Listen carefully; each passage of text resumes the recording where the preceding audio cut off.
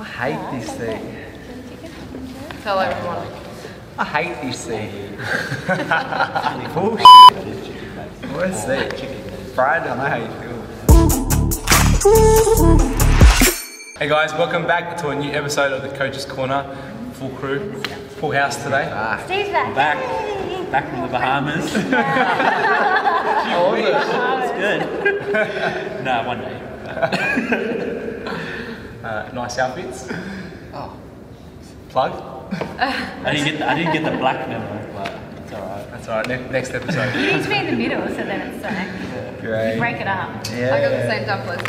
Do you want us to Why, you hear? want us? I hate this thing. Oh. Oh, You want to soften this? that was a good excuse for you, Luke. I hate that thing. There you That's go. why That Lincoln was sits what like you- this. How does this work? I don't know how this works. Gangster. How do you sit? Yeah. I reckon the corner one will be okay. Nah, Yeah. it just looks comfy. You got the most amount of Yeah. Give it a go. room to sit. I loved it. Nah. I'll let Steve have that one today. I don't like it. Too bad. Shouldn't have went away, Luke. What's Yeah. your spot? Snooze, you lose. All right, let's get into the questions. These are the questions that you've sent to us through our Instagram page, Squat Club AU. So next week, get your questions in and we'll have them answered for you. Uh, hey guys, I'm finding it hard to stay motivated to train during winter. How can I stay motivated? Thanks. Well, you kind of motivation doesn't last very long, so I think you want to just be forming good habits to begin with. Like if you're already not training and you're like, oh yeah, I'm going to start training in winter, it might be a little bit harder. Um, and I guess you just got to look, at it from a health point of view. Like it's important to get training, and most people are going to be like, oh, summer's coming up and they haven't trained all winter, then they're just going to be scrambling towards summer, and they're going to be like trying to lose all this weight so fast, and then just cycle that repeats itself week like year after year. So I think if you can just get in a good habit of looking after your health and not thinking like, oh, I need motivation or like, I think that's the that should be the goal. Um, even if you just get for two sessions a week or you don't have to go for five, like just be realistic with yourself what you're going to do. I think that's probably the most important thing hmm. for, to begin with anyway. But people still probably want a couple of little quick hints, so knock some out. Well, that's what I was going to say, build habits. So, say if you train in the morning right now, I set the, the AC to turn on like 10 minutes before my alarm's on, so it's already warm, so I can get out of bed. That's, that's a bit, uh, That's like a good problem strategy. most people have, but um, building habits, so like just when you're in that habit, so just like even if you don't feel like doing it, if you just like put on your gym clothes, just do that, that's one step, and then it'll roll on. Before you know it, you just, oh, you're in your gym clothes, you get, you get in the car, and then you're at the gym. So just building that habit, just make it not seem like a chore anymore. So Yeah. yeah, that's Yeah. a big thing. I also think setting setting up uh, short-term goals will help. Like if you got a goal to look good for summer, it's not the best goal. Um, just get smart goals and short-term. So even in the winter, you'll still be motivated to keep to kick those goals. and then get you to that long-term Yeah, goal. So yeah, if you just if you just say, oh, I'm going to chase summer body, like you just you're not going to get there. Yeah. Like you need something small, like you said. Yeah, specific. Yeah. I think, like you said, like it's forming good habits, you know, and, and, and motivation comes within. So if you can try and find um, a smaller goal, like Lenka said, or finding like good habits, you know, that's going to help you. Um, I think a little trick for me, because you know we're all human, we've all become like, oh, I'm not not motivated to train. I know like, you were like that like last week. Yeah. what, do you mean last week? You were. Um, I, I, I, I've been like that, and I, I'm like that, you know, sometimes recently. Um, but I have a hot shower, and a hot shower kind of helps me because I'm cold. So get into a hot shower, and then I'm ready to go with the workout. Or um, you know, if you're doing it in the morning, I would wake up to go and have a hot shower, and then have your, your workout clothes ready to go, or have like a pre-workout beforehand. Um, you know, by, by your bedside, or you know, depending on the time. Just ready to go. Wake up, alarm, bang, down it. yeah. Um, uh, caffeine, you know, that's also a good little um, stim. I think s- Yeah, you go. like set two days in. Like say if you're going to start with two days, like pick those days and set them in and be like, okay, this is my time to do it. Because if you don't have those days set, you're like, oh, I do it tomorrow, I do it tomorrow, and then you don't end up doing it. Yeah. But if you go, all right, these are my two days, you know, do things like get your clothes ready or get your pre-workout and whatnot. Get that routine that you've got it, so then your habits are there for those days. Yep. So set them into your week. I think another good one would be accountability. Oh, and definitely. investment. So where then you would have a coach. You know, you see a lot of people that would, you know, that or clients of ourselves that they wouldn't have the accountability if they were being by themselves training consistently throughout a whole year. So I think, you know, if you're in a position to be able to have the accountability to invest in uh, a coach, you know, that is extremely, extremely a yeah. yeah, helpful with with that, with staying consistent and being motivated, because then you have someone that you have to answer to. Um, you've got to turn up for their sessions. You've got to do the training sessions that they've built for you. You've got nutrition, if that's one of the other goals as well, to you know, to kind of um, keep on track. So. Um, I, we see it here all the time. Is you know if you if you invest in, in a, a coach, um, you know you are then accountable, and then you keep your consistency. You know, so um, yeah, That makes it sustainable too. Yeah. yeah, that's the biggest thing. Definitely. And if you're training with one of us, you'll love it. you won't want to leave. Or even just like training here, like just the environment and being around everyone, you see all the usual That's people. right, that's that, right. Even that will help Change, keep you change your accountable too. environment. Yeah. Find somewhere that you know that's going to motivate you Yeah. and uplift you. Yeah. Yeah. People who've got similar That's goals. part of the you enjoy enjoyment. going to, yeah. yeah. Sport club. Uh, okay. Hey, co- hey, coaches. There's no doubt there are a lot of supplements that are heavily marketed. What are some supplements that you would recommend to your clients? Yeah, magnesium for recovery um, and to help with sleep.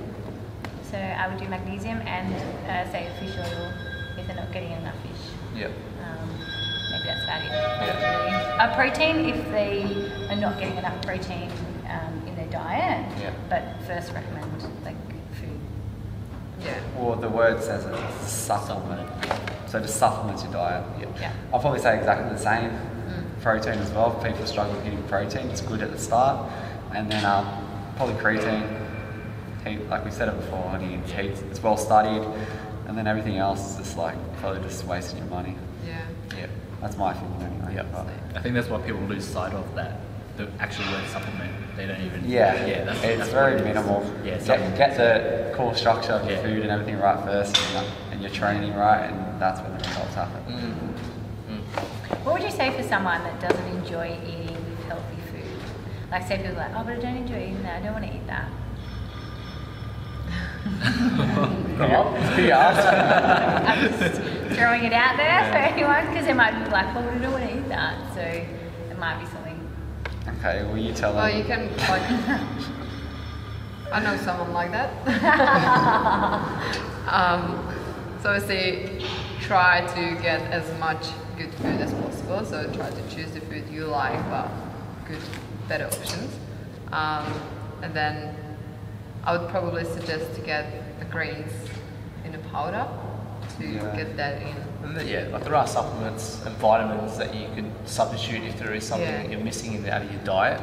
Um, you know, like But what still, the eat like red meat. You know. And that's very case by case. Yeah. You gotta, you gotta Yeah. judge it off the Yeah. first, and then Yeah. you're like, uh, you don't want like any fruit or vegetables. Like, surely, like, one. sure, we can sneak one in there with the mashed potato. Maybe it's just kind of. we'll go back to when you were a toddler and finding it in. Like, Yeah. Put the peas in. Yeah, I think it's case by case, like very. A lot of time, it's probably just like lifestyle habits that they've built Yeah. up from when they were kids. They're younger, just yeah. kind of experiment and explore other options that you, you might not have been exposed to, different ways of Yeah. cooking or eating this, and there might be other things you do you do Yeah. like. So Yeah. yeah, I think it's um, kind of like an uh, attitude thing. Yeah. like, that's been Yeah. you know, a lot of the time. So. Yeah, definitely. Uh, lifting straps with deadlifts, yes or no? By the way, big fan of you guys and what you promote. Never miss an episode. Thanks. Thank you. Straps? Do you give them to clients? I don't. I don't. What for? Like, okay, it's gonna get you a bit more weight. I guess it's more of an ego thing. In my opinion, like, can you use straps for powerlifting? You can't use straps for powerlifting. It's just like, But in saying that, you, most of the clients are not Yeah, powerlifters. it depends on your goal. yeah, I think it depends. but like, why would you give them straps? Why? Like, what's what's a good re- like, like a valid reason for using straps? Volume?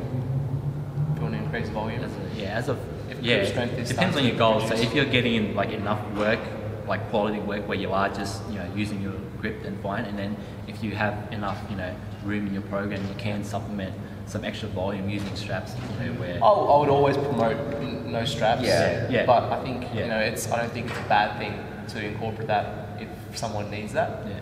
So it might be something that you put in occasionally, but not something that you Yeah. Yeah, become all the a time. parent Yeah, on. yeah, So yeah. Yeah. you can use it as a supplement or you know add it in here and there, but Yeah. but not all the Yeah. I mean, like there are exercises that you can do to help increase your grip strength. Yeah. Um, but like sometimes, you know, you guys can apply this too that you know they they tend to lose their grip before you know their strength is gone. So I mean, I think instances instances like that, um, you could you could add that. You know, but I think like ev- like we said, like every every answer, like there's no Depends black and white. That's Yeah. right. Yeah, it has its time and place. Yeah. So for example, like like what Ash said, as from overweight, say I'll do, I'll often work up to like say my heavy sets, working sets where I am just you know holding the bar, and then I'll move on to some volume work after that, and you know my hands are a bit fatigued, and just to be able to get the volume in, I'll chuck straps on it, and it's lighter weight. It's you know it's supplementary work to like the the main sets I've already done. So in that case, I think it's okay. Yeah. But um, just I think just as long as it's not a crutch where you're using it for Yeah, purely don't rely on everything. Yeah. Yeah. Depends on the population you're doing. If you're like general pop, I Yeah, guess, yeah. like it'll be okay. Yeah. Mm. I guess that's where Yeah, I was kind of thinking your training like, age. Your, your, yeah, Yeah, yeah, yeah, yeah, your your training age, yeah, you're yeah. lifting heavy weights. Yeah. That's yeah. Yeah, if you're beginning, then yeah, just Yeah. hold on to the bar. Like you should have the that, capacity yeah. to do that. Yeah. you know. If you can't, then the weight's too heavy for you right now. Yeah. You know, work up to it later on. Yeah, it definitely depends. So it depends. Mm. Okay. Uh, in a fat loss phase, should I be changing my training to higher reps? I, I, I don't think so. Like, you, when you had to go, from, you're always doing like between 8 and 15, what, you go to 20? Probably not. Like, it's not going to make a massive Yeah. difference. I think the same principles apply of just normal weight training, whether you're doing fat loss or you're doing Yeah. It more depends of what phase are you in actually training. training. Yeah, you look at it from Not the if training you are phase. in the fat loss phase or Yeah. walking phase. Like Yeah. depends on what phase are you training. Yeah, I guess, yeah, training. Yeah. Yeah. I guess the main goal with that, and the main focus with, the, I mean, being in the fat loss phase is being in a calorie deficit. So, making sure that you're, you know, increasing the gap between energy burned and, and calories consumed. That'd be a big part. Not so much about the repetitions of, of the weights. Yeah, I guess if you just increase the lat pull down from 10 to 15, that's not going to like Mm. make you lose body Yeah. fat. You just look at different strategies like maybe cardio or like, you know what I mean? Like those Yeah. type of strategies. That's probably the best option. Yeah. yep. Um, when I train lower body, I struggle to feel my glutes, um, and I feel more activation in my quads. Why is this, and what can I do to feel my glutes work? What so activation probably yeah to, to do ac- like activation work before Mm.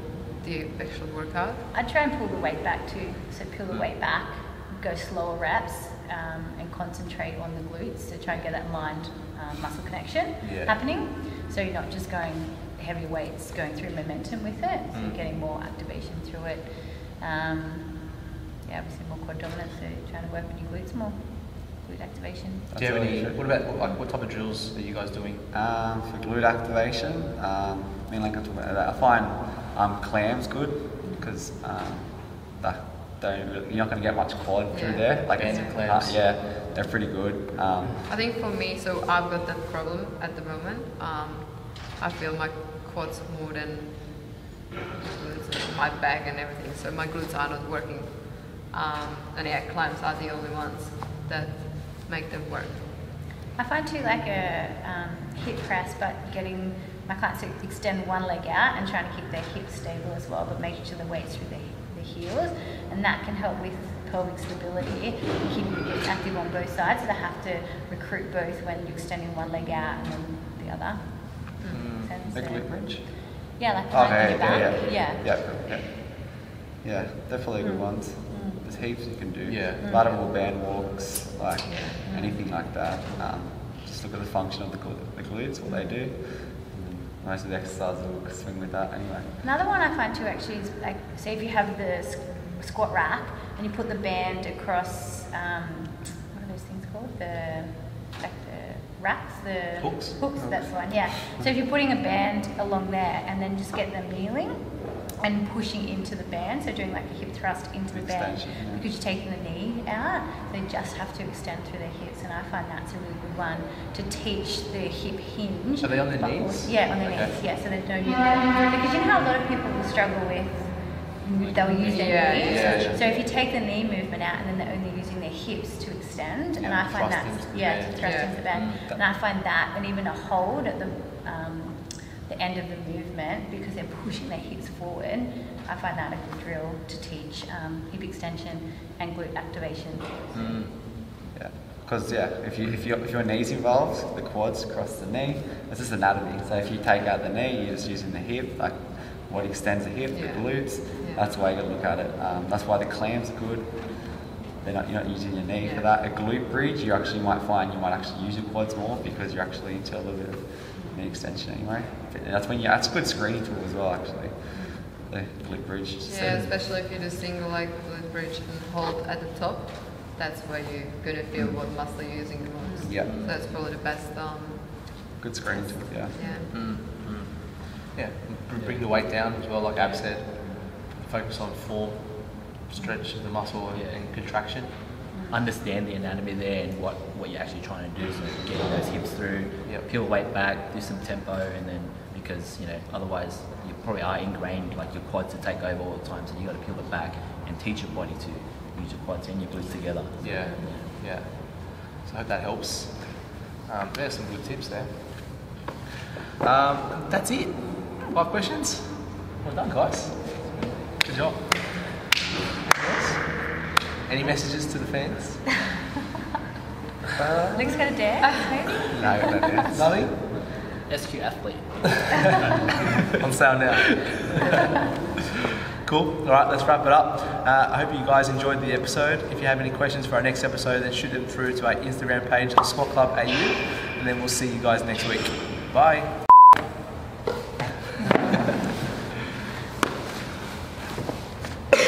It sounded like that was like a pre-recorded thing when you're That's because I saying. say it every week. If you have any questions, feel free to message.